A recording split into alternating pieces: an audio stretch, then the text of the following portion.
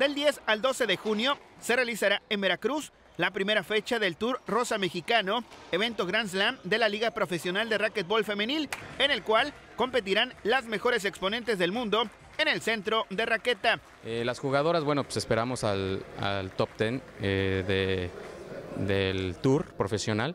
Eh, viene Paola Longoria, este, Ronda Ragis, María José Vargas no confirmó, me imagino por algunos este, compromisos que ya tenía. vienen todas las mexicanas, este, Jessica Parrilla, Sucia Costa, da puntos al doble, es un torneo este, Grand Slam.